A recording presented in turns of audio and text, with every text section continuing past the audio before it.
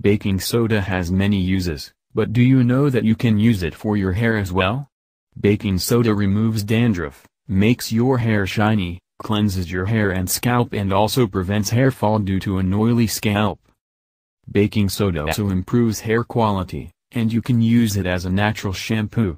Instead of your regular shampoo, use baking soda to get shiny and lustrous hair.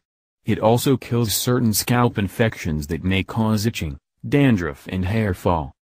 While washing your hair with baking soda, there may be no foam and it may feel strange for you, however, it will still give you best results. You will get beautiful and healthy hair after a few washes. Using baking soda to cleanse your hair instead of a shampoo can protect your hair from the damage caused by the strong chemicals present in a chemically treated shampoo. You will also cut the cost on shampoos. Scroll down to know how to use baking soda for the hair. Baking soda and apple cider vinegar. Dilute 1 tablespoon of apple cider vinegar with 3 tablespoons of water. To this add 1 tablespoon of baking soda to make a paste.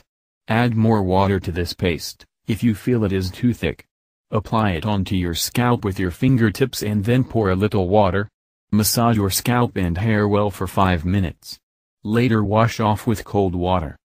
Baking soda, lemon and essential oil. This baking soda shampoo will work best for dry hair.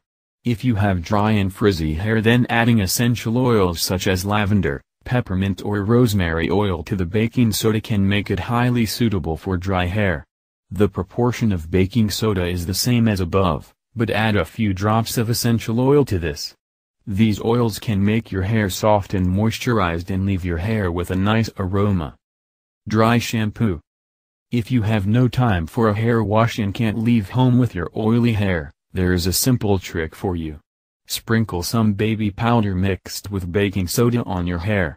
Then comb your hair to remove the talc and baking soda mixture. It will absorb the excess oil on your hair, thus making it shiny. Thank you and may this information useful for you.